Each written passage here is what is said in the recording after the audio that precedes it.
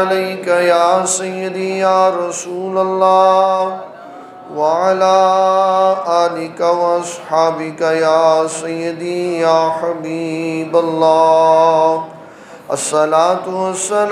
अलैका या सय्यदी या सय्यदल वअला आलिका वअस्हाबिका या सय्यदी या शफीअल मुज़निबीन अस्सलातु वस्सलामु अलैका या सय्यदी या रहमतल लिल आलमीन वअला आलिका वअस्हाबिका या सय्यदी या खातमन नबिय्यीन अस्सलामु अलैकुम वरहमतुल्लाहि वबरकातुहू अल्लाह ताला के फ़ज़ल करम उसकी तौफ़ी और इनायत से आज एक बार फिर हमें दरस कुरान मजीद में शिरकत की। अल्लाह ताला ने तौफ़ी बख्शी और इसके साथ साथ गुजरावाला के जयीद के साय में आज हमें बैठने का मौका भी मिला है। अल्लाह ताला हमें उलमा की इज़्ज़त व तज़ीम और उनके वक़ार को मलहूज़ ख़ातिर रखते हुए उनकी इज़्ज़त व तज़ीम करने की तोफ़ी अता फ़रमाए।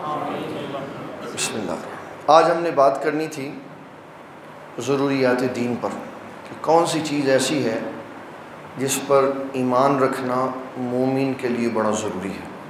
ईमान में सबसे पहले ये हमें बताया गया कि ईमान कैसे रखना है। उसके लिए हम दो जुमले अदा करते हैं इकरार बिल्लिसान व तस्दीक बिलक़ल ज़ुबान से इकरार और दिल से तस्दीक। कि जो भी अकीदा हमने कुरान सुन्नत से लेकर उसके ऊपर कायम और दायम होना है, उस अकीदे का ज़ुबान से इकरार करना और दिल में उसकी तस्दीक। मुनाफिक और मोमिन में यही फ़र्क है। मुनाफिक ज़ुबान से इकरार करता है, दिल से तस्दीक नहीं करता। मोमिनों के पास आता है तो कहता है, मैं तुम्हारे साथ हूँ। जब काफिरों के पास जाता था तो कहता था, मैं तुम्हारे साथ हूँ, उनके साथ तो मैं मज़ाक करता हूँ।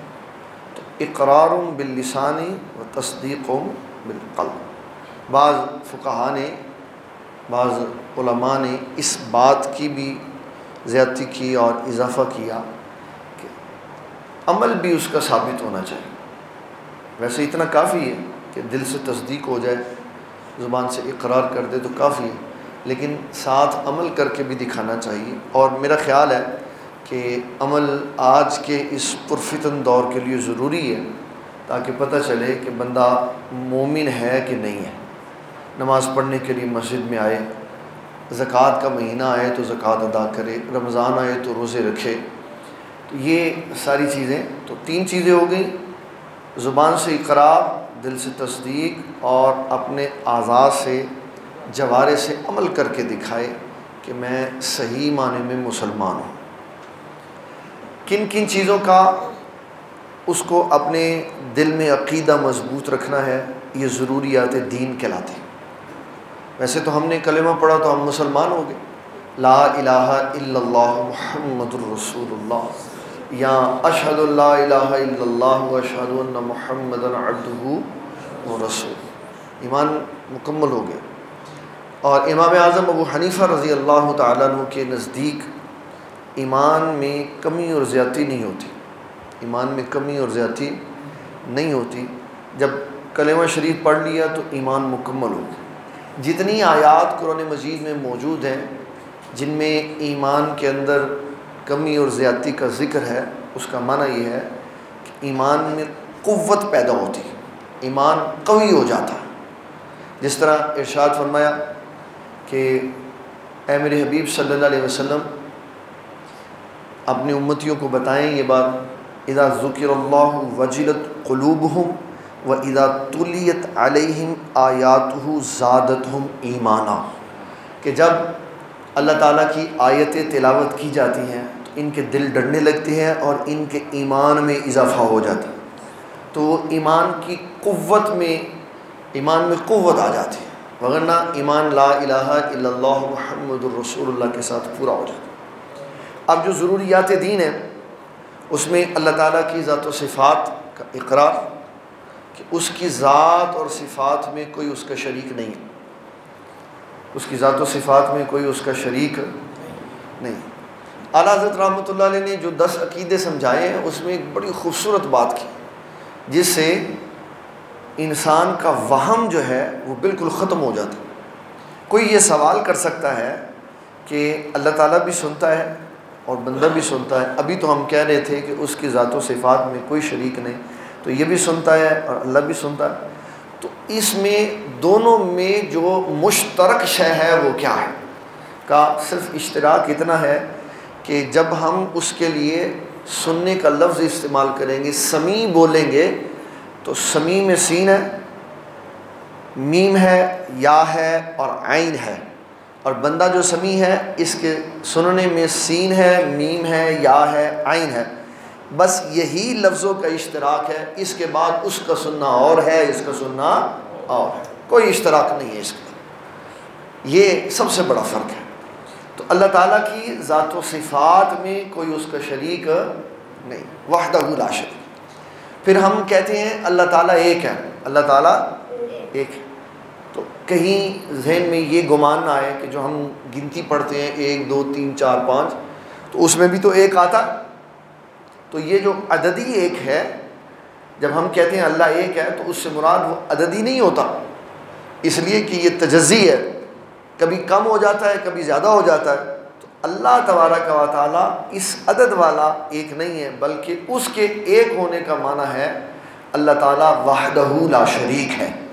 कि उसका कोई शरीक नहीं है, उसका कोई शरीक नहीं। तो अल्लाह ताला के बारे में जब हम कलेमा पढ़ते हैं तो ये बात क्या है कर इस्लाम के अंदर दाखिल हो जाते फिर इसके बाद जो ज़रूरियात दीन है आमन तो बिल्लाही व मलाइकती, हम इसके लिए ये जो मैंने सूरत अनसा की आयत नंबर 136 पढ़ी है, इसमें सारा अकीदा मौजूद है। फ़रिश्तों के ऊपर ईमान है, फ़रिश्तों के ऊपर ईमान है। अब देख लें, है मखलूक? है। जब ये कहा जाए कि नबी सल्लल्लाहु अलैहि वसल्लम ने कई कई दिन खाना नहीं खाया तो कहते हैं, फिर ज़िंदा कैसे रहे? फिर वो ज़िंदा कैसे रहे? तो मखलूक तो खाना खाती है तो ये भी तो मखलूक है ना फरिश्ते? जिनके बारे में हमारा अकीदा ये है कि अल्लाह ताला ने इनको इतना खूबसूरत डिज़ाइन किया है कि इनको खाने पीने की हाजत ही कोई नहीं। अल्लाह ताला उनको बग़ैर खाए पिए रख सकता। उनको कुछ नहीं होता। ना वो बीमार होते हैं, ना वो कमज़ोर होते हैं, ना वो बूढ़े होते हैं, ना वो थकते हैं, ना उनको नींद आती है, ना ऊँग आती। है अल्लाह ताला ने उनका स्ट्रक्चर ही ऐसा बना दिया है, जो जिस तरह है, जिस कैफियत में है, वो शुरू से वैसे है, जब से अल्लाह ताला ने उसको बनाया हुआ है। और जब तक उसकी वहाँ पे ड्यूटी रहेगी, वो वैसे ही रहेगी फिर इसके अंदर अल्लाह तबारा का वाली ने उनकी मुख्तलिफ़ ड्यूटियाँ लगाई, उनके अंदर मरातब रखे और सारे फरिश्तों में सबसे ज़्यादा मरतबे वाले हज़रत सैदना जब्राईल सलाम हैं। ये वो नबी हैं ये वो फरिश्ते हैं जो नबी सल्लल्लाहु अलैहि वसल्लम और आपसे पहले अम्बिया पर वही लाया करते थे। और बाज़ों को यहाँ से गलत फाहमी हो गई कि शायद जो वही लेके आता है, अल्लाह ताला से और नबी सलाम को देता है, वो उस्ताद होता। तो ये अल्लाह ताला ने उन फरिश्तों को एजाज़ बख्शा है कि वो वही लाते हैं और अम्बिया की खिदमत में पेश कर देते हैं। एक हजूर सल्लल्लाहु अलैहि वसल्लम फरमाते हैं, मेरा अल्लाह के साथ एक ऐसा वक्त भी मुकर होता, जिसमें मेरे और रब के दरमियान में ना कोई इंसान होता है, ना कोई फरिश्ता होता। है जब हज़रत सैदना जब्राईल सलाम काफ, हा, या, आइन, साद की आयात लेके आए। तो नबी सल्लल्लाहु अलैहि वसल्लम ने फरमाया, मैं इनके मानी जानता हूँ। अर्ज़ की हजूर आगा करीम वसल्लम, ये तो मैं आज पहली दफ़ा लेके आया तो आपने फरमाया, मेरा और मेरे रब का एक वक्त मुकर होता है जिसमें आप भी बीच में नहीं होते। तो फरिश्ता, उस्ताद नहीं बनता नबी सलाम का। अल्लाह ताला ने उनको ये एजाज़ बख्शा हुआ। और अलामा बदरुद्दीन ऐनी हनफी रहमत क्योंकि मुसलमान वही होता है जो हर बात में हजूर की शान तलाश करता है।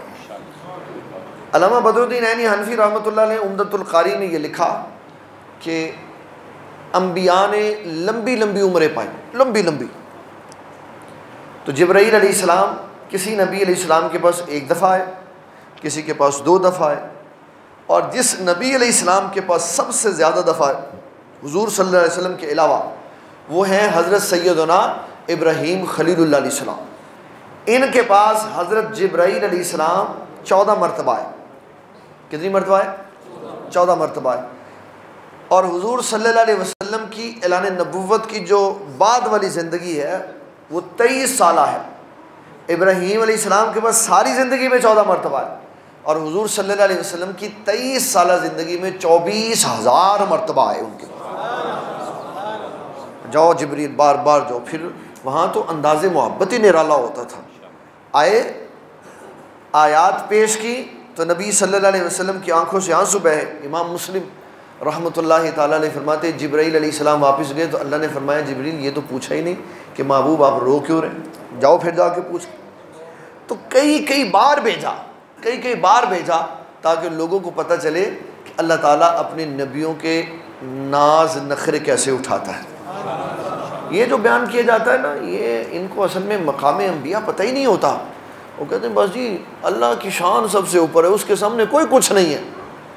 बाबा, अल्लाह ताला ने ख़ुद नबियों को शान अता फरमाई हुई हैं। ख़ुद अम्बिया सलामों को उसने शान, मकाम और मरतबा। क्या ये जुमले काफ़ी नहीं नबी सल्लल्लाहु अलैहि वसल्लम के कि आप उम्मुल मोमिनीन सईद आयशा सिद्दीक़ा रज़ी अल्लाह तहा से फरमा रहे अगर मैं चाहूँ तो ये पहाड़ मेरे साथ सोने के बन के चला कर। कितना इख्तियार अता फरमाया। फरमाया, अगर मैं चाहूँ तो ये पहाड़ मेरे साथ सोने के बन के चला। तो अल्लाह ताला अपने नबियों को बेख्तियार नहीं भेजता। हमारे बाबा जी नगीना साहब रहमत आप फरमाया करते थे वेखो महबूबा की मर्ज़ी थे किबले बदलाए जाते ने ਮਹਿਬੂਬ ਦੇ ਪਾਕ ਇਸ਼ਾਰਿਆਂ ਤੇ ਸਜਦੇ ਕਰਵਾਏ ਜਾਂਦੇ ਨੇ। ਲਬ ਹਿੱਲੇ ਨਹੀਂ, ਹੱਥ ਚਾਏ ਨਹੀਂ, ਐਵੇਂ ਰੁਖ ਦਾ ਰੁਖ ਬਦਲਾਇਆ ਸੀ। ਇੱਥੇ ਵੀ ਫਤਰ ਦਾ ਦੇ ਵਾਦੇ ਪਏ ਤੋੜ ਚੜਾਏ ਜਾਂਦੇ ਨੇ। ਅਸਲ ਬਾਤ ਇਹ ਸੁਣਾਣੇ ਲੱਗਾ, ਫਰਮਾਇਆ ਜਿਹਨੂੰ ਕੁਝ ਵੀ ਦੇਣਾ ਨਾ ਹੋਵੇ, ਜਿਹਨੂੰ ਕੁਝ ਵੀ ਦੇਣਾ ਨਾ ਹੋਵੇ, ਜਿਹਦੀ ਗੱਲ ਵੀ ਮੰਨਣੀ ਨਾ ਹੋਵੇ ਭਲਾ ਪੁੱਛਾਂ ਰੱਬ ਕੋਲੋਂ, ਇਹੋ ਜੇ ਮਹਿਬੂਬ ਬਣਾਏ ਜਾਂਦੇ ਨੇ। महबूब तो वो होते हैं जिनको अल्लाह तबारक व ताली इनाम इकराम और इख्तियार के ख़जाने दे के भेजता है। बेख्तियार नहीं होते, अजमत व शान वाले होते। तो अल्लाह ताला ने फ़रिश्ते एक ऐसी मखलूक पैदा की जो अल्लाह ताला की मखलूक हैं, लेकिन खाते पीते नहीं हैं। और अलामा यूसुफ़ निभानी ने जवाहिर बिहार में ये लिखा कि रसूल अल्लाह सल्लल्लाहु अलैहि वसल्लम ने सैदना जब्राईल इस्लाम से पूछा कि आप अपनी उम्र के बारे में मुझे कुछ बताएँ। तो कहा, प्यारे आका करीम सल्लल्लाहु अलैहि वसल्लम, अपनी उम्र का तो नहीं पता, लेकिन इतना पता है कि आसमान दुनिया पर सत्तर हज़ार साल के बाद एक सितारा नमूदार होता था। मैंने उसको बहत्तर हज़ार मरतबा देखा हुआ। पाँच अरब चार करोड़ साल ये उम्र बनती है। लेकिन कभी उनके ऊपर बुढ़ापा आया ही ਤੁਹਾਡੀ ਕਿੰਨੀ ਉਮਰ ਹੈ मैं नहीं कहांगा तुम बुढ़े हो जवान है है ना समझना कि मैं किधर होर गल लैके चला तुम जवान है तो हमारे यहाँ साठ साल तक जो बंदा फिट फाट रहा था ना वो अल्लाह का शुक्र अदा करे ये बुढ़ापे की उम्र है साठ साल बुढ़ापे की उम्र है तो अल्लाह ताला अगर किसी को से तंदुरुस्ती और सलामती के साथ रखे तो वो इतना है लेकिन उसने दुनिया में लोगों की उम्रों का मैार रखा। अलामा जलालुद्दीन सयूती दुर मंसूर में लिखते हैं कि अल्लाह तबारा का ताली ने लोगों को लंबी लंबी उम्रें दी। कितनी लंबी? बड़ी लंबी। नू इस्लाम के पास एक खातून आई और कहने लगी, मेरे बच्चे छोटे छोटे फौत हो जाते हैं, दुआ करें, उम्र लंबी हो। उम्र उनकी तो आपने फरमाया, कितने कितने फौत हो जाते हैं? कहने लगा, कहने लगी, कोई 600 साल का, कोई 700 साल का? तो लंबी उम्र होनी चाहिए। तो आपने दुआ की तो अलामा जलालुद्दीन सयूती दुर मंसूर में लिखते हैं, उस खातून का एक लड़का उस ज़माने में सबसे लंबी उम्र पा के गया, उसकी उम्र सैंतीस सौ साल हुई। तो बयालीस वे दिन ज़िंदगी शुरू होती है और सैंतीस सौ साल तक चली गई। फिर भी उसके बाद भी अल्लाह तबारक व ताली ने ज़िंदगी का ख़ात्मा कर दिया। बात करने का मकसद ये है कि अल्लाह तबारक व ताली जब इंसान को तख्लीक करके दुनिया में बेचता है तो वो कोई जलील नहीं होता बंदा, बल्कि अल्लाह ताला इज़्ज़तों के साथ उसको सजा के बेचता है। अगर किसी बंदे की इज़्ज़तें कम होती हैं ना तो उसके अंदर, अपने अंदर कोई ख़राबी होती है। अगर वो ज़िंदगी नबी सल्लल्लाहु अलैहि वसल्लम के कदमों से वाबस्ता होकर गुजारे तो अल्लाह ताला उसके जाने के हज़ार साल बाद भी उसका नाम बुलंदोबाला ही रखता है। तो जिनके साथ वाबस्ता रहने से ज़िंदगियाँ बुलंदोबाला हो जाती हैं, शान वाली हो जाती हैं, रिश्वत वाली हो जाती हैं तो वो खुद कितनी शानों वाले होंगे जिनके सदक़े में अल्लाह ये सारा कुछ दे रहा तो फरिश्ते अम्बिया के उस्ताद नहीं होते। अल्लाह ताला ने एक सिलसिला बनाया हुआ, फैज़ का, उनके ज़रिए से आ जाता है नबूत उनके ज़रिए से अल्लाह ताला भेज देते फरिश्ते तस्कीर तानीस से जेंडर बेसिस पाक है। ये अल्लाह ताला ने उनके अंदर नहीं रखा हुआ। अल्लाह ताला की नूरी मखलूक है और जिसको अल्लाह ताला जो ड्यूटी देता है वो वो काम करता है। हमारे यहाँ हमें ये बताया गया है कि फ़रिश्तों की एक जमात है जिनको कहते हैं सैारा फ़रिश्ते। सैारा फ़रिश्ते। जैसे मोबाइल पुलिस होती है ना, गाड़ी में बैठ कर घूमती रहती है। गश्त करने वाली पुलिस। तो वो इसी तरह फ़रिश्तों की भी जमातें होती वो भी फिरते रहते अब कई फ़रिश्ते यहाँ पे बैठे हुए तो आए माफिल हो रही थी तो अल्लाह का ज़िक्र हो रहा था, बैठ गए और एक हदीस में आया कि फ़रिश्ते ऐसे करके बैठ जाते हैं तो आसमान तक फ़रिश्ते ही फ़रिश्ते हो जाते हैं। फिर जब ये जाएँगे अल्लाह की बारगाह में, अल्लाह ताला फरमाएगा, बताओ फ़रिश्तों किधर से आए? तो कहीं गौसिया मस्जिद में गए हुए थे। वहाँ उलमा गुजरा वाला की अजीम शख्सियात आई हुई थी। मैं वो क्या कर रहे थे? कहीं अल्लाह वो तेरा ज़िक्र कर रहे थे। और क्या कर रहे थे? या अल्लाह जन्नत की बातें कर रहे थे। जन्नत उन्होंने देखी, नहीं देखी। और क्या कर रहे थे? याला जहन्नम से बचने की दुआएँ मांग रहे थे। जहन्नम देखी, नहीं देखी। अगर देख ले तो या अल्लाह हर वक्त फिर जहन्नम से पनाह ही मांगते थे तो एक फरिश्ता कहेगा, या अल्लाह, उनमें एक बंदा था जो ऐसे ही आया था नंबर टांगने को। कोई उसको गर्ज नहीं थी। देखा उसने की आवाज़ आ रही तो वो भी आ गया। हुजूर सल्लल्लाहु अलैहि वसल्लम फरमाते हैं, अल्लाह ताला इरशाद फरमाता है, फरिश्तों, जो मेरे बंदों के पास वैसे भी आ जाए, मैं उसकी बख्शिश फरमा देता हूँ। तो ये फ़रिश्तों की मुख्तलिफ़ जमातें हैं, जो गलियों में, बाज़ारों में, मस्जिदों में नेक लोगों के ज़िक्रों के पास आ जाती। तो ये फ़रिश्तों के ऊपर ईमान लाना, ये हमारी ज़रूरियत दीन है। एक जमात हिंदुस्तान पाकिस्तान में भी ऐसी थी, जो फ़रिश्तों का मज़ाक उड़ाती थी। कहती थी ये सब ख्याली दुनिया है। ये सब उनके बच्चे आज भी ज़िंदा हैं। और पाकिस्तान के मामे बने हुए हैं आज भी वो। पुराने इनके अकायद गुमराह कौन थे और आज पाकिस्तान की कुर्सियों के ऊपर बैठे हो। तो फरिश्ते अल्लाह ताला की नूरी मखलूक है। अल्लाह ताला की कुदरत का मज़र है। जिस शक्ल को चाहे वो इख्तियार कर लेते। तो मैं बात सुना रहा था हज़रत सैदना जब्राईल इस्लाम की। तो शाबा ने पूछा एक दिन, अगर करीम सल्लल्लाहु अलैहि वसल्लम, आपने जब्राईल इस्लाम को देखा? आपने फरमाया हाँ मैंने देखा। बुखारी शरीफ की रिवायत। का हजूर कहाँ देखा? फरमाया, ऐसे ऊपर से खड़क की आवाज़ आई तो मैंने ऊपर देखा तो जबरील कुर्सी पे बैठा हुआ था। आपने फरमाया, मैंने उसको देखा, उसके नौ सौ छः सौ पर थे। कितने पर थे? कितने पर थे? भाई साहब इतने कि अरसा हो गया, आंदे हो? शुरू तो आ रहे ਰਹੇ ਆ ਮਸਜਿਦ ਦੀਆਂ ਖਿੜਕੀਆਂ ਕਿੰਨੀਆਂ ਨੇ ਤੇ ਫਿਰ खिड़कियाँ तो गिनिया करो ना? खिड़कियाँ तो नहीं गिनने के लिए आए? वो तो अल्लाह तबारा का वाली की जो रहमत बरस रही होती है, उसके लिए आए। तो नबी सल्लल्लाहु अलैहि वसल्लम ने उसको ये नहीं कहा कि, ठहर जा पर खोल मैं तेरे पर गिन लूँ। अम्बिया की शान नहीं होती। अम्बिया ऐसे सिर्फ़ देखते हैं तो अल्लाह सारा इल्म उनके सीने में उंडेल देता है। और हमारे आका सल्लल्लाहु अलैहि वसल्लम को तो जो अल्लाह ताला ने इल्म अता फरमाया, उसके बारे में इमाम शरफुद्दीन बुसीरी रहमतुल्लाहि ताला फरमाया, वमिन उलूम का इल्म हुजूर सल्लल्लाहु अलैहि वसल्लम को अल्लाह ने इतना वसी इल्म अता फरमाया कि लोहे महफूज हजूर अलैहि के इल्म का एक सफ़ा है। इल्म इससे ज़्यादा है। ऐसे देखते थे तो पूरी की पूरी तादाद अंदर आ जाती थी। इसकी एक बड़ी खूबसूरत मिसाल है। हज़रत मुआविया इबन मुआविया रज़ी अल्लाह तसाल फरमा। सैदना जब्राईल हाजिर खिदमत हुए। अर्ज़ किया का करीम अलैहि वसल्लम मुआविया इबन मुआविया का विसाल हो गया, अगर आप इजाज़त दें तो नमाज़ जनाजा पढ़ा दें। अच्छा किबला कमाल पता क्या है? मकातिब फ़िक्र के लोग कहते हैं, बंदे का सिर ना ना होवे तो जनाजा नहीं होता बंदे का सिर ना होवे तो जनाजा नहीं होता तो बंदा सारा ना होवे तो फिर हो जाता यह अजीब मंथिक है। सिर ना होवे तो जनाजा नहीं होता लेकिन सारा ना होवे तो फिर हो जाता जब सर नहीं है तो जनाजा नहीं पढ़ते तो बाकी भी नहीं है। पूरे का पूरा ही नहीं है तो फिर क्यों पढ़ा? कहते हैं हदीस में आया। मुआविया इबन मुआविया की नमाज़ जनाजा हजूर सल्लल्लाहु अलैहि ने ऐसी पढ़ी। उसमें पढ़ो मुहदसिन क्या कहते? कि जब नबी सल्लल्लाहु अलैहि ने सैदना जब्राईल इस्लाम से कहा कि हम उसकी नमाज़ जनाजा पढ़ेंगे तो उन्होंने ज़मीन सगेड़ के जनाजा सामने कर दिया था।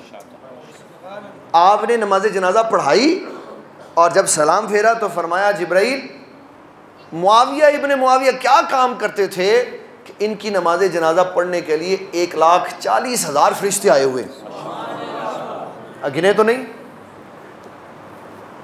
ऐसे ही देखा, दो सफ़े थी तो फरमाया, एक लाख चालीस हज़ार फरिश्ते आए हुए। तो वहाँ तादाद गिननी नहीं पड़ती। देखा तो अल्लाह ताला सारी की सारी बात अंदर डाल देता। ये है हमारे आका सल्लल्लाहु अलैहि वसल्लम की शान, अजमत, कि जो इनके पास आ रहा है, वो इतनी शान वाला है जब्राईल तो अलामा जलाल, अलामा बदरुद्दीन आइनी ने लिखा कि चौबीस हज़ार मरतबा हज़रत जब्राईल अलैहिस्सलाम हुजूर अलैहि वसल्लम की खिदमत अकदस में हाजिर। तो इनके ऊपर एतक़ाद रखना है कि ये फ़िज़िकली हैं। हमारी आँख इनको देख नहीं सकती। कभी कभी ये आ जाते थे इंसानी लिबादे में तो सहाबा कराम इनकी ज़्यारत कर लेते। जिस तरह बुखारी मुस्लिम की हदीस है, साहिब मिशकात ने किताब में लिखा कि हज़रत सैदना उमर बिन ख़ताब कहते हैं, एक बंदा एक दिन आया इस तला रजुल शदीद ब्याद सियाब व शदीद सवाद शार, ला युरा सफ़र सफ़र, ला युरा असर सफ़री वला यारिफ मन्ना हदन अलामाबुल फजल कहते हैं, वला यारिफ मन्ना में रसूलुल्लाह का इस्तना है। कि कोई उनमें से नहीं जानता था, लेकिन हजूर जानते थे ये आने वाला कौन है।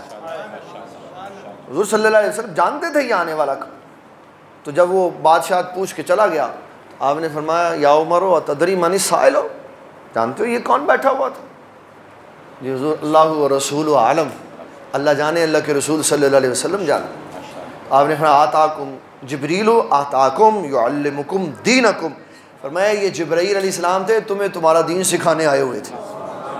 तो जब वो लिबास बदल के आते, बशरी लिबादे में आते तो वो देखे जा सकते। एक दिन नबी सल्लल्लाहु अलैहि वसल्लम के आस्थान शरीफ पे जब्राईल इस्लाम हजूर के साथ चलते हुए चले गए अंदर। तो हजूर सल्लल्लाहु अलैहि वसल्लम ने उम्मुलमोमिनीन सईद आयशा सदीक़ा तय्यबा ताहिरा रज़ी अल्लाह तह से फरमाया फरमाया, मोमिनों की माँ ये जबरील हैं। तो कहने लगी, मुझे तो नहीं नज़र आए। तो आपने फिर एक तारीख़ी जुमला कहा। फरमाया, हजूर, मैं अल्लाह की कसम खा के कहती हूँ, इन्नी आराम माला तराउन व असमा माला तस्मा हजूर, आप वो देखते हैं जो हम नहीं देखते और आप वो सुनते हैं जो हम नहीं सुन सकते। आपको अल्लाह ताला ने ये सलाहियत और कुदरत अता फरमाई कि आप वो चीज़ देखते हैं जो आम आदमी आम नहीं सहाबा भी नहीं देख सकते सहाबा कराम भी नहीं देख सकते। तो ये फरिश्ते हैं, इनके ऊपर ईमान लाना ज़रूरी है। इनके ऊपर ईमान लाना अल्लाह की नूरी मखलूक है। फिर दूसरे नंबर पर फरमाया, वो कुतुबी ही किताबों पर ईमान। सारी किताबों को माने और वो कहे, जी, मैं सिर्फ़ तौरात नहीं मानता तो बाकी किताबों का भी इनकार ही तस्वुर है। सारी किताबों को मान। उसका नज़रिया समझा दिया कि भाई वो किताबें तहरीफ शुदा हैं। उनके अहकाम लोगों ने अपनी अपनी मर्जियों से अपनी अपनी ज़ुबानों में तर्जमा करते हुए बड़े बड़े पैसे वालों का ख्याल करते हुए जिमें पंजाबी क्या जाता है कि जिसले यहूदियाँ तो ईसाइया के अपने घर की गल होंगी तो हल लम्मा पा लेंगे तो जिसले गरीबों की गल होंगी कहते हल खड़ा कर। तो किताबें सारी कुरान मजीद के अलावा सारी किताबें तहरीफ शुदा है। इसके मानने का जो कॉन्सेप्ट बयान किया गया वो यही है कि हम ये कहेंगे कि अल्लाह ताला ने जितनी किताबें, जितने सहीफ़े नाजिल किए, हम सब पे ही ईमान लाते कोई ले आए तौरात उसको ये देखो जी, कुरान मजीद में ये लिखा हुआ है, तौरात में ये लिखा हुआ है तो उसको कहेंगे। जो तौरात का हुक्म कुरान मजीद के मुताबिक होगा, सिर्फ़ वो माना जाएगा। बाकी ये क्या है कि हम छोड़ देंगे कि ये तुम लोगों की अपनी तहरीफ है जो तुमने इसके हुक्म को बदल कर दिया।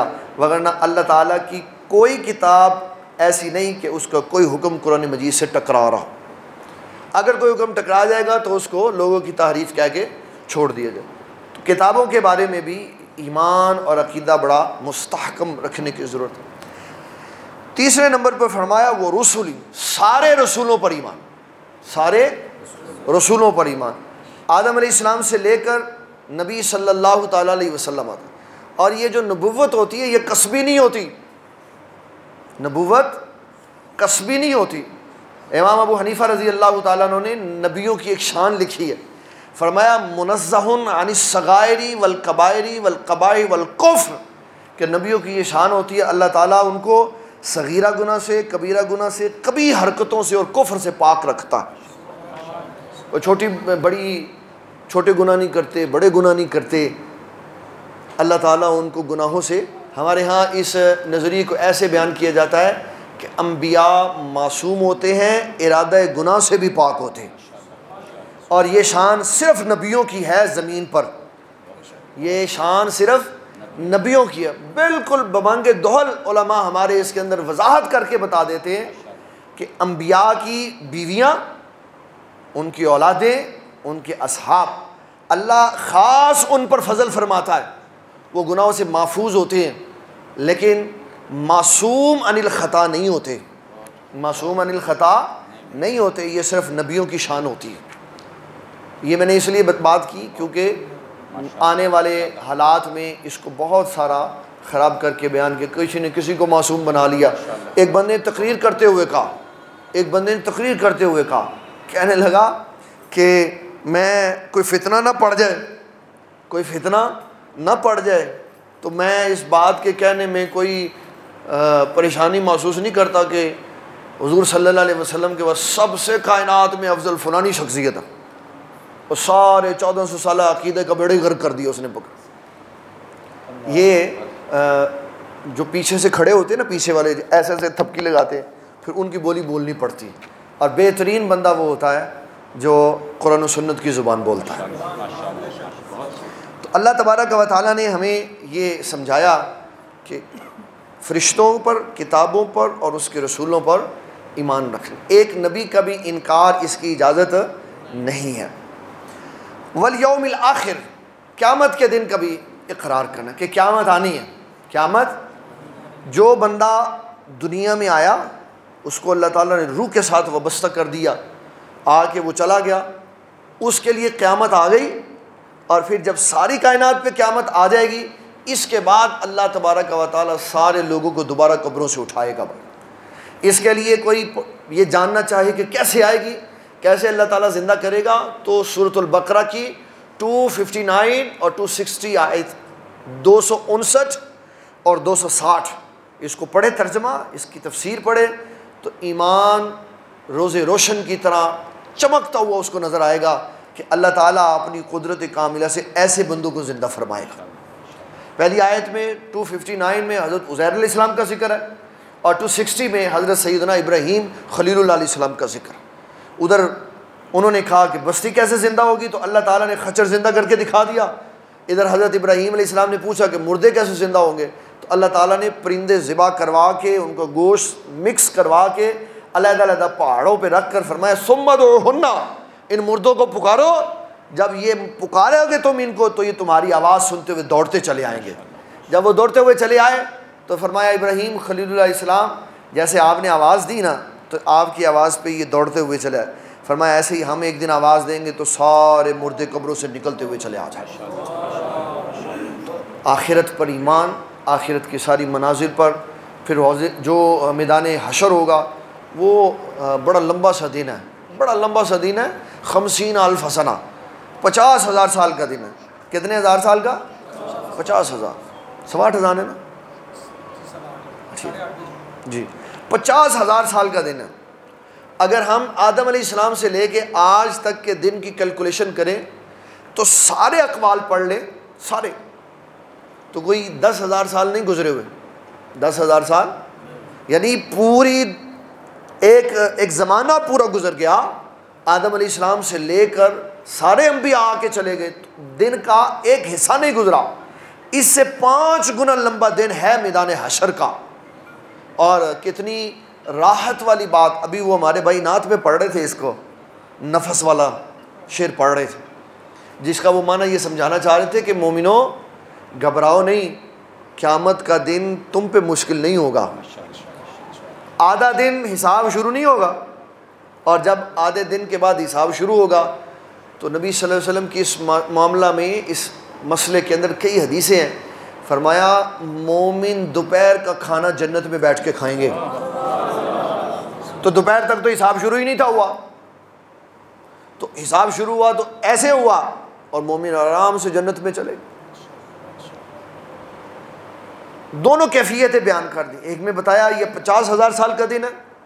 और दूसरे में अपने उम्मतियों को तसल्ली देने के लिए फरमाया ख्याल रखना, आपके लिए पचास हज़ार साल का नहीं, ऐसे गुजरेगा जैसे दो रकात नमाज़ नफल पड़ी जाती फिर अलामा जलालुद्दीन सयूती रहमत ने एक किताब लिखी, जिसमें उन्होंने हमारी ईमान वालों की तस्किन कल्बी के लिए सारी हदीसें इकट्ठी कर दी, उन सत्तर अफराद का ज़िक्र कर दिया। कि वो खुश नसीब सत्तर बंदे हैं जिनको क़्यामत वाले दिन अल्लाह तबारक व ताली अपने अर्श के साय तले जगह अता फरमाए। बुखारी ने साथ लिखे, इमाम बुखारी रहमत ने साथ लिखे हैं, लेकिन अलामा जलालुद्दीन सयूती रहमत बड़े महक़ आदमी उन्होंने सारी कुतब हदीस से खंगाल के एक किताब लिखी, जिसको हमारे दावत इस्लामी वाले जो भाई हैं, उनके जो उनका जो सॉफ्टवेयर है अलमदीना की नाम है? अलमदीना लाइब्रेरी। उसके अंदर इस किताब का तर्जमा भी हुआ हुआ पढ़ा। और सत्तर अफराद के नाम लिखे हुए हैं। ये मैं बरकत के लिए बता रहा हूँ कि उसमें भी है। और एक बरकत ये भी है कि हमारे जामिया के मुफ्ती साहब, मौलाना मुफ्ती आसिफ अली यूसफी साहब ने उस किताब का पहले से भी तर्जमा किया हुआ। 2010 में उन्होंने इसका तर्जमा किया था। ये नहीं मुझे पता कि इन्होंने पहले किताब लिखी थी, लेकिन इनके लिए भी बरकत है इन्होंने लोगों की आसानी के लिए उसको सॉफ्टवेयर के अंदर ऐड कर दिया। और ये परेशानी वाली बात नहीं होती एक अलामा साहब ने इधर वाले ने एक मौजू पे किताब लिखी, इसी वाले ने उसी मौजू के ऊपर एक और, उसी किताब का तर्जमा कर दिया। अब इसका फ़ायदा क्या? है इसका फ़ायदा क्या? है इनका जो कंटेंट है, वो अपने कॉन्टेक्ट पे चला जाएगा। इनके अपने अफराद में चला जाएगा इनका मवाद। और इनका मवाद अपने अफराद पर चला जाएगा। तो दोनों अफराद इल्म वाले हो जाएँगे। तो इससे कोई नहीं फ़र्क पड़ता कि एक मौजू के ऊपर कई कई किताबें लिखी जाती, कई कई लिखी जाती। तो जो भी किताब लिखता है, नाम उसी का ज़िंदा रहता। है तकरीरें, वाज, दरस, कैफियात बदल देते, ईमान में कुत पैदा कर देते हैं। लेकिन जो तहरीर लिखी जाती है, वो ज़िंदा रहती है। तो हुजूर सल्लल्लाहु अलैहि वसल्लम ने वहाँ के मामलात में क्या होगा? किस तरह वक्त गुजरेगा? किस तरह के हालात होंगे? बड़ी तफसील से एक एक बात बताई। एक सहाबी ने पूछा, हुजूर सल्लल्लाहु अलैहि वसल्लम से कि हशर के मैदान में आदम इस्लाम से लेकर क़्यामत तक के लोग होंगे तो हम आपको कहाँ तलाश करें? देख लो, उधर भी हुजूर सल्लल्लाहु अलैहि वसल्लम की फ़िक्र पड़ी हुई है कि आप सल्लल्लाहु अलैहि वसल्लम कहाँ होंगे और हमारा बचाव कैसे होगा? आपने फरमाया, मुझे मीज़ान पर तलाश करना। फिर फरमाया, मुझे हौज कौसर पे तलाश करना। फिर फरमाया, मुझे पुल सरात पे तलाश करना। साहबी ने कहा, मैं अगर आपको मीज़ान पे ना पाऊँ तो फरमाया, उधर आ जाना। कहा, अगर पुल सरात पे ना पाऊँ तो फरमाया, उधर आ जाना। तो मतलब है, इन तीन जगहों के इर्द गिर्द ही मैं हूँगा। जब मेरे उम्मतियों का हिसाब व किताब वज़न किया जा रहा होगा, और इसमें एक बड़ी खूबसूरत हदीस है। ये हदीस ऐसी है जो लोगों की ज़िंदगियों की काया पलट देती। जब नेकी करें, जब भी नेकी करें तो नेकी करते हुए एक बात हमेशा मलहूज खातिर रखनी चाहिए कि वो नेक काम सिर्फ़ अल्लाह के लिए होना चाहिए। किसके लिए होना चाहिए?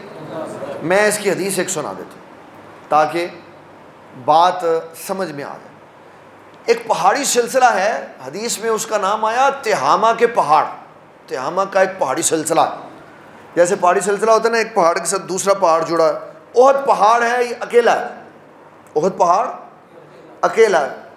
इसके इर्द गिर्द और कोई पहाड़ नहीं है। एक पहाड़ ख़त्म हो गया, उसके बाद फिर बस्ती शुरू हो गई। तो तिहामा एक पहाड़ी सिलसिला है, एक के साथ दूसरा, दूसरे के साथ तीसरा। एक लंबा पहाड़ी सिलसिला। तो नबी सल्लल्लाहु अलैहि वसल्लम ने फरमाया, जो सवाब लेके आया तिहामा के पहाड़ों की मिसल लेकिन इखलास ना हुआ तो उनका वज़न राई के दाने के बराबर हो जाएगा। और जो थोड़ा सा अमल लेके आया, लेकिन इखलास वाला हुआ तो उसका सवाब तिहामा के पहाड़ों से ज़्यादा होगा। इसका माना क्या हुआ कि आमाल में इखलास मोतबर होगा। चीज़ की कैफियत नहीं देखी जाएगी कितनी है। हमने कई दफ़ा सुना कि एक कागज़ का टुकड़ा आमाल के पलड़े को भारी कर देगा। टुकड़ा। इसका मतलब है नेकी की कैफियत देखी जाएगी कि इसने किस कैफियत में किया अखलास के साथ किया या रियाकारी में किया। आज हमारे पास वक्त है, हम जो अमल करें, अल्लाह ताला के लिए करें। किसके लिए करें? अल्लाह ताला। आज अल्लाह ताला के लिए आमाल, नेक और साले करेंगे तो कल वो हमारे लिए कीमती ख़जाना होगा। अल्लाह ताला हमारी हाज़िरी कबूल मंजूर फरमाए।